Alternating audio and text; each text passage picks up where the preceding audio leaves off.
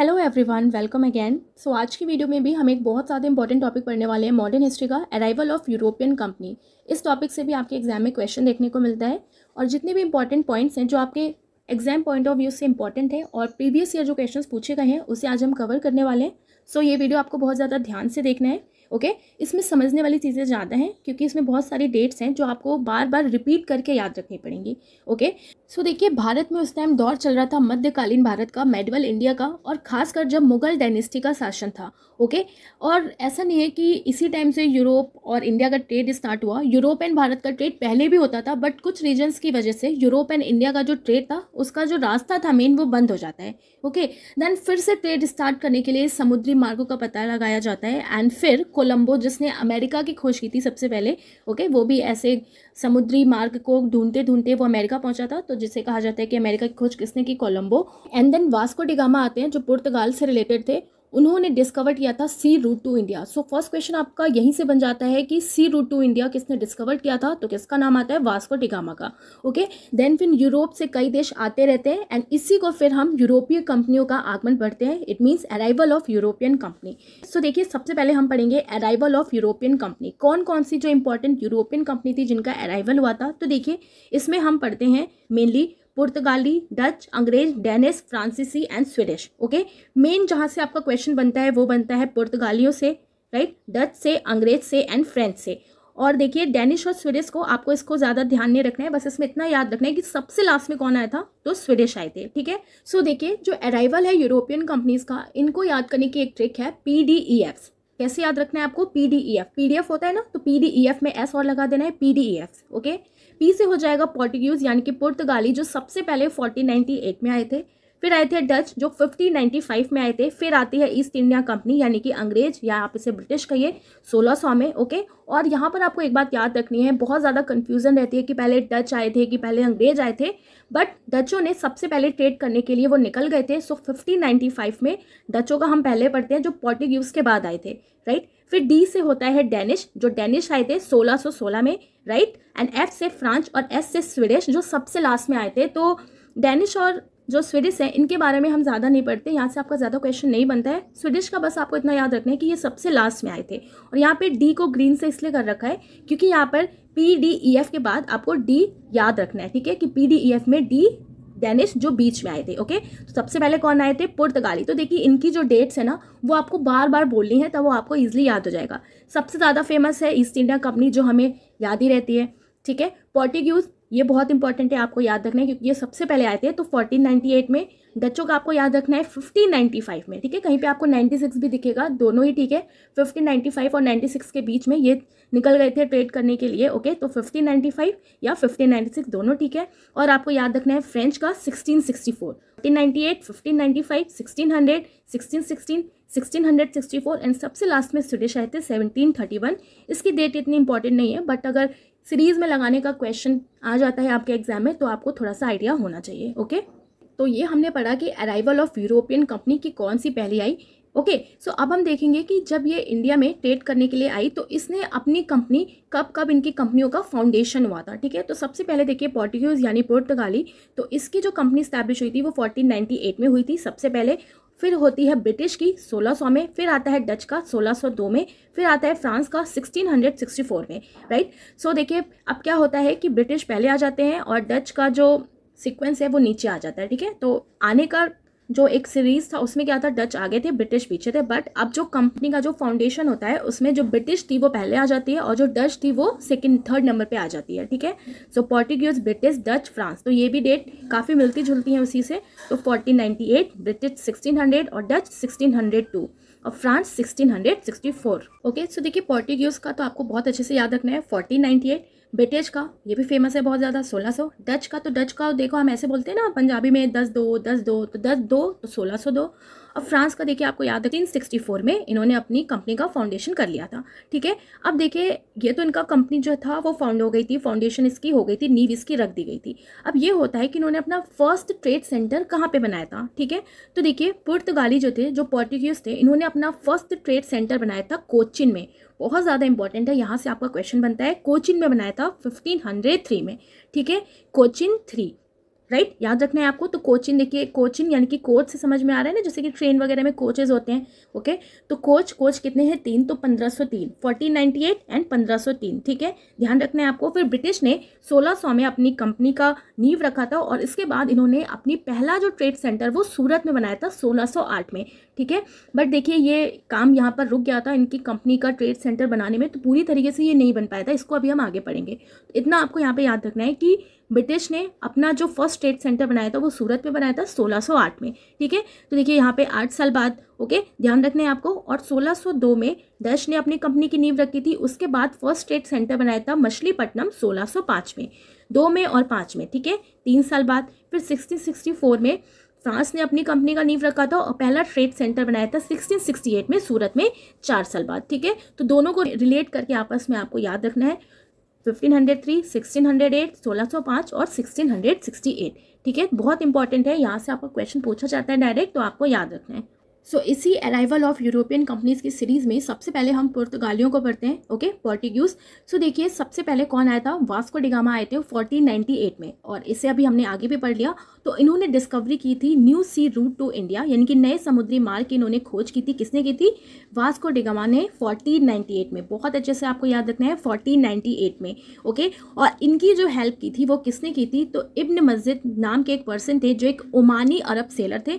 इन्होंने किसकी हेल्प की थी? वास्को डगामा की हेल्प की थी ओके तो ध्यान रखना है आपको Ibn Majid and Omani Arab sailor help Vasco da Gama find his sea route from the African coast to Malabar coast so Africa से इन्होंने चलना स्टार्ट किया था और इंडिया के मालाबार कोस्ट पे ये पहुँचे थे। तो वास्को डिगामा की हेल्प किसने की थी? इब्न मस्जिद ने की थी। याद रखने आपको इब्न मस्जिद ओके और देखिए the first to sail from Europe to India by rounding Africa Cape of Good Hope अब इनका जो एक पूरा रूट था, ठीक है? इनका जो एक पूरा रूट था अफ्रीका से लेके इंडिया तक इंडिया के मालाबार कोस्ट तक तो इसको, इस पूरे रूट का जो नाम दिया गया, वो क्या कहा गया? अफ्रीका का केप ऑफ़ गुड होप क्या कहा गया? केप ऑफ़ गुड होप ठीक है? तो ये बात भी आपको ध्यान रखनी है, ओके? सो यहाँ पर आप देख सकते हैं कि अफ्रीका से चले पुर्तगाल से आए वास्को डिगामा अफ्रीका से होते होते, चलते चलते जब ये यहाँ पर पहुँचे इंडिया के मालाबार कोस्ट पे तो इस पूरे जो एक रूट था, इसको क्या कहा गया? केप ऑफ़ गुड होप ठीक है? तो ये बात आपको ध्यान रखनी है, ओके?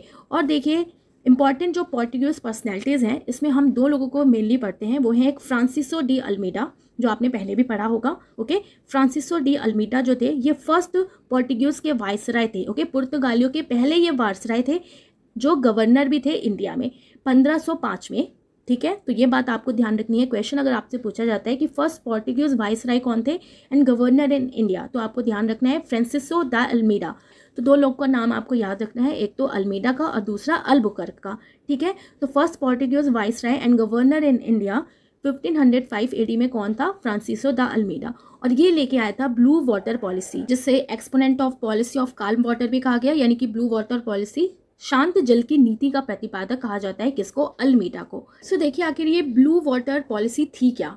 ओके? सो देखिए जो पोर्टुगीज थे ना तो इनका एक तरीके से सपना था कि हिंद महासागर, जो इंडियन ओशन है, उसका जो पूरा एरिया है, वो पूरी तरह से इनके जहाज़ों के कब्जे में हो जाए एंड उस एरिया से होने वाला ट्रेड उनके कंट्रोल में हो जाए, जिससे क्या होगा, इनका ज़्यादा मुनाफा होगा, ज़्यादा इनको प्रॉफिट मिलेगा ओके सो ये थी इनकी ब्लू वाटर पॉलिसी और पूरा देखा जाए तो अलमीडा की जो भी पॉलिसीज़ थी, उसी को ब्लू वाटर पॉलिसी कहा गया और मेनली ये इंडियन ओशियन यानी कि हिंद महासागर से रिलेटेड थी। ठीक है? तो आपको ध्यान रखना है ये भी कि ब्लू वाटर पॉलिसी कौन लेके आया था? तो Almeida blue water policy Almeida ठीक है? सेकंड जो पर्सनैलिटीज़ है, जो पोर्टुगीज़ की हम पढ़ते हैं, वो है अल्फांसो द अल्बुकर्क कौन है? अल्फांसो द अल्बुकर्क राइट जिससे रियल फाउंडर माना जाता है पोर्टुगीज पावर का इंडिया में. So real founder of Portuguese power in India किसको कहेंगे? अल्बुकर्क ठीक है? तो इसने बुक कर लिया अपने पावर को इंडिया में पूरी तरीके से. तो ध्यान रखना है आपको बुक कर लिया किसने? अल्बुकर्क ने. So the real founder of Portuguese power in India is Albuquerque right the builder of the first European and Portuguese fort in India in 1503 अब इसी ने सबसे पहले पोर्टुगीज फोर्ट कोचिन में स्टैब्लिश किया, जो अभी हमने पीछे पढ़ा 1503 में। अपना व्यापारिक केंद्र इसने बनाया, ठीक है? तो first European and Portuguese fort in Cochin India in 1503 में ओके और उस फोर्ट का क्या नाम था? तो उस फोर्ट का नाम था फोर्ट इमैनुअल क्या नाम था? फोर्ट इमैनुअल ठीक है? 1510 में देखिए, इसने कैप्चर किया गोवा को फ्रॉम यूसुफ आदिल शाह जो उस टाइम रूलर था बीजापुर का।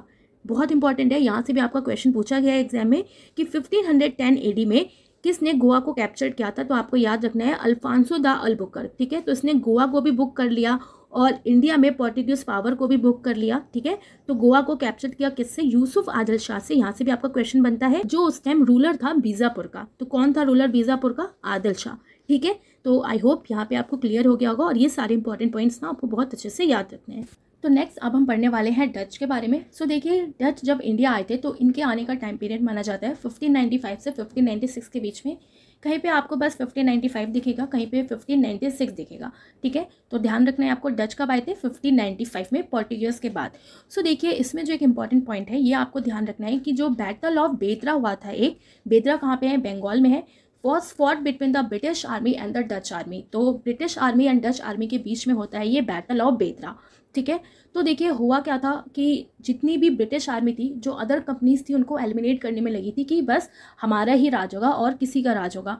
किसी का राज नहीं होगा, है ना? तो इतना ज़्यादा लालच बढ़ गई थी कि हमें सिर्फ़ प्रॉफिट चाहिए। तो इन्होंने क्या करना स्टार्ट किया? जो अदर कंपनीज़ थी, उनके साथ वॉर किया, संधि किया, ठीक है? तो इसलिए ताकि इनका जो पूरी तरीके से कंट्रोल हो जाए इंडिया पे। तो ब्रिटिश आर्मी ने डच आर्मी से भी वॉर किया और उस वॉर का नाम क्या है? बैटल ऑफ़ बेतरा और इसके बाद से क्या होता है? जो डच होती है, वो हार जाती है और जो भी इसकी एक्टिविटीज़ होती है इंडिया में, वो भी पूरी तरीके से ख़त्म हो जाती है, ठीक है? तो ये जो बैटल हुआ था, ये सेवनटीन फिफ्टी में हुआ था। ध्यान रखना है, आपको बहुत इंपॉर्टेंट है। बैटल कब हुआ था ये? सेवनटीन फिफ्टी 1759 एडी में, ठीक है? विनर कौन रहता है? तो ब्रिटिश आर्मी रहती है और after this war Dutch completely loss their activities in India okay so याद रखना है आपको बैटल ऑफ़ बेदरा 1759 में होता है between Dutch army and British army के बीच में ओके okay? नेक्स्ट अब देखिए, अब हम पढ़ने वाले हैं ईस्ट इंडिया कंपनी ओके तो सेकंड नंबर पे कौन था? डच आए थे। थर्ड नंबर पे कौन आए थे? ईस्ट इंडिया कंपनी आए थे। तो ईस्ट इंडिया कंपनी के जो आरंभिक वर्ष हैं कैसे ये इस्टेब्लिश हुई? तो इससे भी आपका क्वेश्चन बहुत बनता है, क्योंकि सबसे ज़्यादा टाइम तक इसी ने इंडिया के ऊपर रूल किया है तो इससे बहुत ज़्यादा क्वेश्चन बनते हैं। तो इसको आपको बहुत अच्छे से समझना है और ध्यान रखना है। सो देखिए ये जो ईस्ट इंडिया कंपनी है, ये फाउंडेड हुई थी 1599 एडी में by a group called merchant adventurers in England तो इंग्लैंड में एक इसका पूरा ग्रुप था, जो नाम रखा गया इसका merchant adventurers in England okay तो पहले ये ईस्ट इंडिया कंपनी इसका नाम नहीं पड़ गया। पहले जब ये इंग्लैंड में थी 1599 एडी में तो इसका नाम क्या था? इस पूरे ग्रुप का merchant adventurers in England okay फिर दिसंबर 1600 में एक चार्टर ग्रांट किया गया क्वीन एलिजाबेथ जो फ़र्स्ट थी, उनकी तरफ़ से to the company to trade with the East for fifteen year. तो इन्होंने ये नहीं कहा था कि सिर्फ़ इंडिया में जाके ट्रेड करो। इन्होंने ईस्ट की तरफ़ जाके ट्रेड करने के लिए एक चार्टर ग्रांट किया था, क्वीन एलिजाबेथ फ़र्स्ट ने सिक्सटीन हंड्रेड में, ओके? कितने सालों के लिए? पंद्रह सालों के लिए। और उस टाइम जो भारत में जो मुगल एम्पर थे इंडिया के, वो कौन थे? अकबर थे। तो यहाँ से आपका क्वेश्चन पूछा जाता है डायरेक्ट कि मुगल एम्पर कौन थे उस टाइम जब ईस्ट इंडिया कंपनी को चार्टर ग्रांट किया गया था तो आपको ध्यान रखना है अकबर। ओके? सो आप देखिए तो कौन था अकबर, ठीक है? सो देखिए, अकबर के बाद, अकबर की जो डेथ हो जाती है 1605 में। अकबर की डेथ कब हो जाती है? 1605 एडी में। और उसके बाद देखिए कैप्टन हॉकिंस आते हैं, जैसे कि पहले बोलते थे ना, जैसे आजकल एम्बेसडर हैं तो उसी तरीके से पहले दूत हुआ करते थे ओके तो कैप्टन हॉकिंस आते हैं कहाँ पर? जहांगीर के कोर्ट में। अब अकबर की डेथ हो गई 1605 में, ठीक है? उसके बाद आता है कैप्टन हॉकिंस जो इंडिया में ट्रेड करने के लिए कुछ परमिशन लेने आता है जहांगीर के पास, ठीक है? तो जहांगीर के कोर्ट में कैप्टन हॉकिंस कब आता है? 1608 में। कब आता है? 1608 में, ठीक है? तो कैप्टन हॉकिंस को नहीं पता होता है कि अकबर की डेथ हो चुकी है तो वो यही सोच के आता है, अकबर के नाम से एक फरमान लेके आता है कि उसको अकबर से मिलना है ओके लाइक दैट और फिर उसे पता लगता है कि अब तो जहांगीर का शासन है, ठीक है? तो जहांगीर के कोर्ट में आता है 1608 में राइट और देखिए, फिर आप हमें क्या इंपॉर्टेंट पॉइंट याद रखना है related to East India Company की foundation of the first factory जो ईस्ट इंडिया कंपनी है, उसने अपनी फ़र्स्ट फैक्ट्री को फाउंडेशन किया था सूरत में 1608 में ही, ठीक है? ये अभी हमने स्टार्टिंग में भी पढ़ा था कि फ़र्स्ट ईस्ट इंडिया कंपनी का जो फैक्ट्री थी, कहाँ पे इस्टेब्लिश की गई? सूरत में। बट यहाँ पर क्या हुआ कि पूरी तरीके से इनकी ये कंपनी नहीं बन पाई और इसका काम रुक गया क्योंकि जहांगीर ने, जहांगीर को ये बात पसंद नहीं आई और उसने यहाँ पे रुकवा दिया था काम। ठीक है? फिर क्या होता है? 1611 में 1611 एडी में फ़र्स्ट टेम्प्रेरी फैक्ट्री जो मसूलीपट्टनम में इस्टेब्लिश की जाती है कंपनी की तरफ़ से, और उस टाइम जो मुगल रूलर था, उस टाइम भी कौन था? जहांगीर था, ठीक है? तो फिर 1608 में इन्होंने इस्टेब्लिश करने की कोशिश की। सक्सेसफुल नहीं हुआ बट अगर आपसे क्वेश्चन पूछा जाए कि first factory East India Company तो आपको सूरत ही टिक करना है 1608 में। अगर पूछे टेम्प्रेरी फैक्ट्री तो 1611 मसूलीपट्टनम में, ठीक है? तो ये डेट्स आपको याद रखनी ईस्ट इंडिया कंपनी के, ठीक है? सोलह 1608 ठीक है? फिर 1611 फिर 1613 तो ये जो इंपॉर्टेंट डेट्स हैं आपको ध्यान रखनी है तो 1611 में टेम्प्रेरी फैक्ट्री बनाई मसूलीपट्टनम में और उस टाइम भी मुगल रूलर कौन था? तो जहांगीर था, ठीक है? 1613 एडी में इन्होंने अपनी फ़र्स्ट परमानेंट फैक्ट्री जो थी ब्रिटिश की, वो स्टैब्लिश की पूरी तरीके से सूरत में। यही जो फैक्ट्री थी, इसी को फिर कंप्लीट करवाया गया, ठीक है? सो सोलह सौ तेरह एडी में first permanent factory of British was establish in Surat तो ये बात आपको ध्यान रखनी है ओके और देखिए, एक और दूत आया था, सर थॉमस रो कौन आए थे? सर थॉमस रो आए थे, जिन्होंने रिप्रेजेंट किया था इंग्लैंड को मुगल एम्पायर में, और उस टाइम भी कौन था? मुगल शासक कौन था? तो जहांगीर था। और ये कब आया था? तो ये भी 1615 में आया था। तो कभी कभी यहाँ से भी आपका क्वेश्चन पूछा जाता है कैप्टन हॉकिंस का ओके जो फ़ेमस है, और सर थॉमस रो। तो ये दोनों आए थे जहांगीर के कोर्ट में, ठीक है? कैप्टन हॉकिंस 1608 में, और सर थॉमस रो ये आते हैं 1615 में, ठीक है? तो ये important point related to East India Company आपको बहुत ज़्यादा अच्छे से याद रखना है। अब इसने कौन कौन से वॉर लड़े थे कौन कौन सी कंपनियों से ये आगे हम क्वेश्चंस के थ्रू कंप्लीट करने वाले हैं। नेक्स्ट अब हम पढ़ते हैं French East India Company okay so important जो कंपनी कौन सी है, वो है French East India Company so इससे रिलेटेड आपको इंपॉर्टेंट पॉइंट्स क्या याद रखने हैं कि इसका जो ओरिजिनल नेम था, वो था कंपनी देश इन देश ओरिएंटल क्या नाम था? कंपनी देश इन देश ओरिएंटल इसको कहा गया। और इसका जो इस्टेब्लिशमेंट हुआ था, वो 1664 एडी में हुआ था।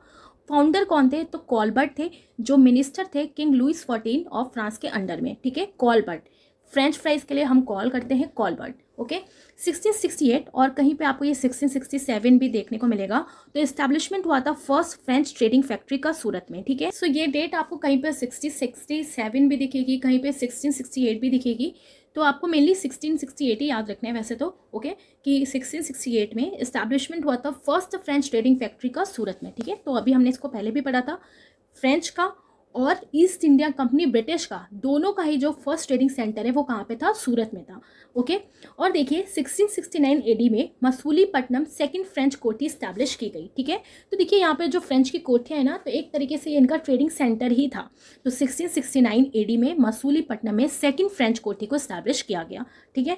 1668 में फ़र्स्ट फ्रेंच फैक्ट्री सूरत में 1669 में मसूलीपट्टनम सेकंड फ्रेंच कोठी स्टैब्लिश की गई राइट सो देखिए, जितने भी इंपॉर्टेंट पॉइंट्स थे, वो हमने पढ़ लिया। है। अब हम क्वेश्चंस करेंगे एंड क्वेश्चंस के बीच में जो भी इंपॉर्टेंट पॉइंट्स आएँगे, उसे हम कवर करेंगे। So first question is in which year did Vasco da Gama land in Calicut Kozhikode तो कौन से ईयर में वास्को डिगामा ने लैंड किया था कैलिकट में? तो कौन से ईयर में क्या था? 1498 में। So option D is the correct answer right so देखिए पोर्टुगीज थे ये पुर्तगाल से आए थे वास्को डिगामा 1498 एडी में इंडिया में और इन्होंने डिस्कवर किया था new sea route to India okay? तो सी रूट टू इंडिया किसने डिस्कवर किया? वास्को डिगामा ने। वास्को डिगामा की मृत्यु कब हुई? तो कोची पंद्रह ट्वेंटी फोर में, ठीक है? कोची में हुई थी फिफ्टीन ट्वेंटी फोर में और ये डाइट से रिलेटेड भी एक क्वेश्चन आपसे पूछा गया है, इसलिए मैंने इसको यहाँ पर इंक्लूड किया है कि इनकी मृत्यु कब हुई थी? पंद्रह सौ चौबीस में ओके नेक्स्ट है the first European to come to India were अब पहला यूरोपियन कौन था जो इंडिया आया था? तो पहला यूरोपियन कौन था? ऑब्वियसली पोर्टुगीज थे पुर्तगाली थे so option D is the correct answer okay so देखिए European companies that came to India for the purpose of trade were the Portuguese first in 1498 and the French at the end. तो सबसे पहले कौन आया था? Portuguese आए थे और जो इम्पोर्टेंट है, उसमें फ्रेंच जो था, सबसे लास्ट में आया था। वैसे तो स्वीडिश का भी माना जाता है ओके बट मेनली देखा जाए तो फ्रेंच को ही कहा जाता है राइट right? तो ध्यान रखना है आपको। नेक्स्ट से देखिए the blue water policy was introduce by the Portuguese leader अब ब्लू वाटर पॉलिसी कौन से पोर्टुगीज लीडर ने इंट्रोड्यूस की थी? तो किसने किया था? Blue water policy okay so option B is the correct answer so in fifteen hundred five AD Francisco d'Almeida was made the first Portuguese governor of India right and his policies were called blue water policy and his main objective was to establish dominance in the Indian Ocean region from the perspective of business interest okay तो बताया था मैंने अभी आपको कि Indian ocean जो है, उसमें पूरा अपना कब्जा करना चाहते थे कि इनको ज़्यादा से ज़्यादा प्रॉफिट हो। तो यही थी ब्लू वाटर पॉलिसी किसकी? अल्मीडा की। Next question is in which year did battle of Goa fought battle of Goa कब फोर्ट किया गया था? ठीक है? तो मैंने आपको बताया था कि बैटल ऑफ़ गोवा यानी कि गोवा को कैप्चर कर लिया गया था। कब किया गया था? 1510 में। So option C is the correct answer right so battle of Goa Alfonso the Albuquerque versus Yusuf Adil Shah के बीच में हुआ था, जिसमें विनर कौन रहता है? अलबुकर रहता है। और गोवा को ये छीन लेता है, ठीक है? कैप्चर कर लेता है गोवा को। जो रूलर होता है कौन? बीजापुर से। तो यूसुफ आदिल शाह से गोवा को कैप्चर कर लेता है कौन? अलबुकर ठीक है? Question number next is British East India Company defeated the Portuguese in अब ब्रिटिश ईस्ट इंडिया कंपनी ने डिफीट किया था पोर्टुगीज को भी कब किया था? तो देखिए कौन से वॉर में किया था? सो बैटल ऑफ़ सुवाली ठीक है? तो इसको स्वेली भी कहा जाता है सुवाली भी कहा जाता है। So option D is the correct answer बहुत इंपॉर्टेंट है आपको ध्यान रखना है। अब ये बैटल ऑफ़ सुवाली देखिए है क्या? सो so, देखिए सिक्सटीन में जो ईस्ट इंडिया कंपनी है इसके जो शिप थे defeated the Portuguese in the Swally okay तो ये एक तरीके का नवल बैटल होता है स्वेली में। Also known as battle of Suvali तो यहीं पर इसको सुवाली भी कहा जाता है स्वैली भी कहा जाता है took place on twenty nine thirty नवंबर सोलह सौ बारह off the coast of Suvali a village near the Surat city तो ये एक विलेज होता है सुवाली सूरत सिटी के पास. तो यहीं पर होता है कौन सा वॉर बैटल ऑफ़ सुवाली का. ठीक है? किसके बीच में? ईस्ट इंडिया कंपनी ब्रिटिश के बीच में एंड पोर्टुगीज के बीच में. ठीक है? तो ये इंपॉर्टेंट पॉइंट आपको ध्यान रखना है और एक ये नवल बैटल होता है. कौन सा बैटल होता है? नवल बैटल होता है शिप्स को लेके. ठीक है? सो, ये बात आपको ध्यान रखनी है। बैटल ऑफ़ सुवाली ओके किसके बीच में हुआ था? पोर्टिक्यूज के बीच में हुआ था और ब्रिटिश ईस्ट इंडिया कंपनी के बीच में हुआ था okay next question is which of the following was the first fort built by the British East India Company in India British East India Company ने भारत में निम्नलिखित में से कौन सा पहला किला बनवाया था? तो पहला कौन सा किला बनवाया था? ब्रिटिश ईस्ट इंडिया कंपनी में तो आपको ध्यान रखना है फोर्ट सेंट जॉर्ज ठीक है?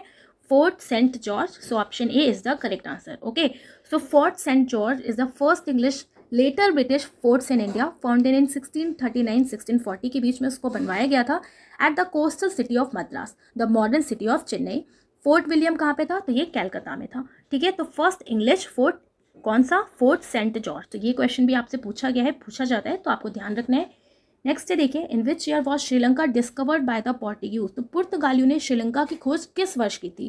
अब पुर्तगालियों ने श्रीलंका की खोज किस वर्ष की थी? So option B is the correct answer 1505 में। सो so, देखिए Sri Lanka was discovered by the Portuguese in 1505 तो पोर्टुगीज ने श्रीलंका को डिस्कवर किया था ओके okay? खोजा था कब? 1505 में। First contact between Sri Lanka and the Portuguese was established by Don Lorenzo de Almeida in 1505. At the time of Sri Lanka was known by the name of साइलॉन। और उस time Sri Lanka को साइलॉन नाम से जाना जाता था ओके एंड पोर्टुगीज जो थे, वो एक्सीडेंटली पहुँच गए श्रीलंका के पास और after twelve years Portuguese establish their trade settlement और बारह साल के बाद फिर उन्होंने वहाँ पे अपना ट्रेड सेटलमेंट को इस्टेब्लिश किया कहाँ पर? श्रीलंका में ओके तो श्रीलंका की खोज भी किसने की थी? यानी कि किसने डिस्कवर किया था? सो पंद्रह में किसने किया? पोर्टुगीज ने किया। ओके तो वहाँ पर भी ट्रेड करने के लिए ये एक्सीडेंटली पहुँच गए थे। सो ये बात और ये क्वेश्चन आपको ध्यान रखना है। क्वेश्चन नंबर नेक्स्ट इज़ किस वर्ष ईस्ट इंडिया कंपनी भारत में पहली बार उपस्थित हुई थी? In which year did the East India Company appear in India for the first time तो पहली बार कब उपस्थित हुई थी एक प्रॉपर वे में, ठीक है? तो कौन सा सन आता है तो हम लोग पढ़ते हैं 1608 so option D is the correct answer okay so देखिए William Hawkins a representative of British East India Company came to the Mughal emperor Jahangir in 1608 AD okay तो ध्यान रखना है आपको। Question number next is the battle of Bedara was fought between the British army and the Dutch army in तो battle of बेदारा ठीक है? तो भी मैंने आपको बताया था बैटल ऑफ़ बेदारा तो बैटल ऑफ़ बेदारा बेदारा कहाँ पे? बंगाल में, ठीक है? तो ये जो बैटल हुआ था between British army and Dutch army के बीच में, ये कब हुआ था? तो ये हुआ था 1759 में। So option A is the correct answer right so battle हुआ था ये 1759 एटी में। विनर कौन था? ब्रिटिश आर्मी था। After this war Dutch completely loss their activities in India okay so ध्यान रखना है आपको battle of Bedara 1759 1759 next question is the first English factory set up on the bank of river in 1651 तो 1651 में कौन सी नदी के किनारे इंग्लिश फैक्ट्री जो है वो सेटअप की गई पहली बार? तो कौन सी नदी के किनारे? हुगली नदी के किनारे okay so Hooghly river so option A is the correct answer right okay so the first factory was establish by the British in 1651 on the bank of Hooghly river अब यहाँ पर बात हो रही है आपकी फैक्ट्री स्टैब्लिश करने की। कौन से रिवर पे? हुगली रिवर पे। और traders use to run their work from here these traders were called factors अब यहाँ से जो ट्रेडर थे, वो अपना काम करते थे ओके और इन ट्रेडर्स को उस टाइम फैक्टर्स कहा जाता था। क्या कहा जाता था? फैक्टर्स ओके और there was a warehouse in this factory where the things to be exported were store जो भी जो चीज़ें उन्हें एक्सपोर्ट करनी होती थी, वो इस वॉर हाउस में यहाँ पे स्टोर करके रखते थे, ठीक है? तो कौन सी रिवर पर पहली फैक्ट्री स्टैब्लिश की? तो हुगली रिवर पर right question number next is where in India was the first French factory establish Bharat में प्रथम फ्रांसीसी कारखाना कहाँ स्थापित किया गया था? तो देखिए फ्रांसीसी कारखाना कहाँ स्टैब्लिश किया गया था? तो ये भी स्टैब्लिश किया गया था सूरत में। So option A is the correct answer question number next is Chandan Nagaur या Chandan Nagar was a dash colony captured by the British navy on twenty third March seventeen fifty seven अब एक colony थी चंदन नगर नाम से, जो British navy ने capture करी थी सेवनटीन फिफ्टी सेवन में ट्वेंटी थर्ड मार्च को। ओके तो देखिए, ये जो कॉलोनी थी, फ्रांसीसियो की थी, फ्रेंच की थी तो option D is the correct answer right so Chandan Nagar was a French colony captured by the British navy on twenty third March seventeen fifty seven जो ब्रिटिश ईस्ट इंडिया कंपनी थी was led by Robert Clive and royal navy was led by Charles Watson okay, जो British East India company को उस time कौन led कर रहा था? Robert Clive and royal navy was led by Charles Watson they bombarded and capture Chandan Nagar in March seventeen fifty seven अब यहाँ पर देखिए 1757 है। तो आपको याद आना चाहिए 1757 में कौन सा फ़ेमस वॉर हुआ था? बैटल ऑफ़ प्लासी हुआ था, ठीक है? सो मॉडर्न हिस्ट्री के जो कुछ इंपॉर्टेंट बैटल्स हैं ईस्ट इंडिया कंपनी से रिलेटेड उसे हम रिवाइज कर लेते हैं ओके तो वैसे भी मैंने आपको बैटल वाला जो इंपॉर्टेंट हिस्ट्री के बैटल्स है, उसमें पढ़ाया हुआ है। यहाँ पे बस हम फटाफट रिवाइज कर लेते हैं, क्योंकि यहाँ पर हमारी डेट आई है सेवन राइट सो देखिए बैटल ऑफ़ प्लासी जो है प्लासी का युद्ध है, ये 1757 में होता है between Robert Clive versus Bengal के नवाब सिराजुद्दौला के बीच में। किसके बीच में होता है? Robert Clive versus nawab of Bengal Sirajuddaulah. अब जो ब्रिटिशर्स थे, ईस्ट इंडिया कंपनी थी, ये ट्रेड करते करते फिर इसने पूरे इंडिया पे राज करना शुरू कर दिया तो ये फिर कहाँ पे पहुँच गए बंगाल पहुँच गए ठीक है? तो जो बंगाल के नवाब थे, उसके साथ युद्ध होता है बैटल ऑफ़ प्लासी का विनर कौन रहता है? तो रॉबर्ट क्लाइव रहता है ओके सो देखिए, आपसे क्वेश्चन यहाँ से पूछा जाता है who was the one who laid the foundation of British rule in India governor of Bengal okay तो भारत में ब्रिटिश प्रभुत्व की नींव रखने वाला बंगाल का governor Robert Clive right so ध्यान रखना है आपको बंगाल का governor Robert Clive in battle of Plassey के बाद ही एक ट्रिटी होती है, जिसे इलाहाबाद की ट्रिटी कहा जाता है, जो 12 अगस्त 1765 को होती okay after the battle of Plassey between Shah Alam second and Clive okay तो ये एक ट्रिटी है इलाहाबाद की प्रथम संधि और अभी हम आगे पढ़ेंगे इलाहाबाद की दूसरी संधि ठीक है? तो अगर आपने देखिए हिस्ट्री के इंपॉर्टेंट बैटल्स वाला वीडियो नहीं देखा है तो वहाँ पे हमने उसको ट्रिक से कवर किया था तो आप उसको पढ़ सकते हैं। बहुत ज़्यादा इंपॉर्टेंट वीडियो है सो so, यहाँ पर बस हमने रिवाइज कर लिया है। नेक्स्ट देखिए फिर होता है बैटल ऑफ़ वॉन्डी वॉश ठीक है? ये 1757 में होता है प्लासी का युद्ध फिर आता है 1760 में बैटल ऑफ़ वॉन्डी वॉश ये किसके बीच में होता है? तो फ्रेंच ईस्ट इंडिया कंपनी और ब्रिटिश ईस्ट इंडिया कंपनी के बीच में, ठीक है?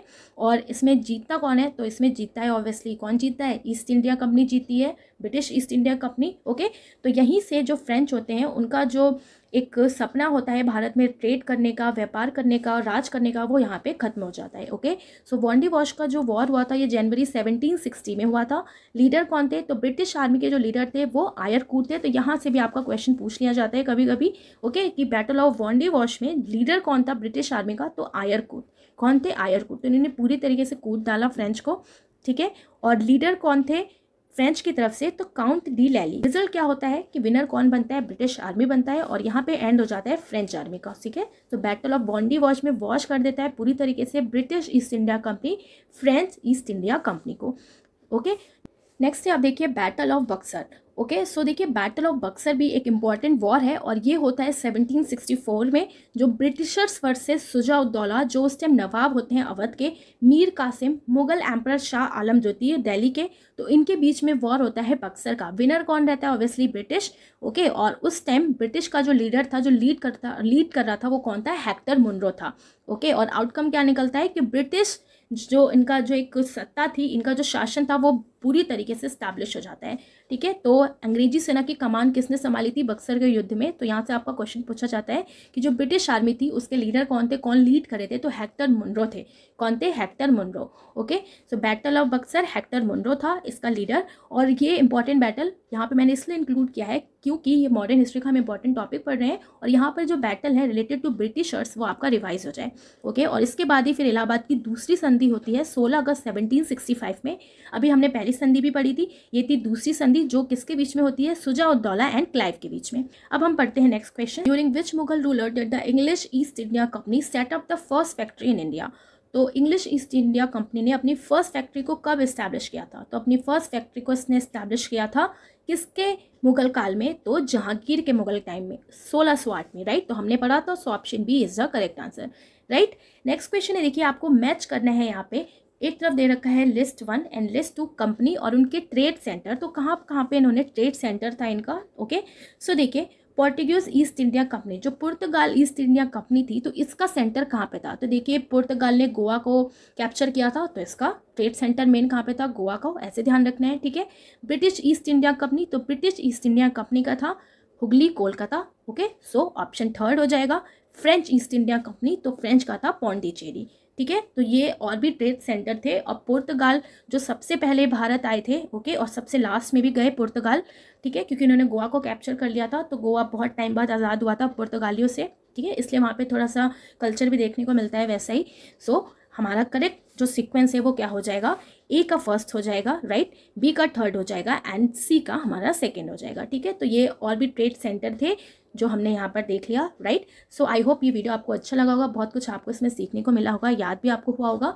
आपको इसको बार बार रिवाइज करते रहना क्योंकि इसमें डेट्स भी बहुत ज़्यादा इंपॉर्टेंट है right so if you like this video आपको कमेंट करके बताना है। सो so, मिलेंगे अब नेक्स्ट वीडियो में। Thanks for watching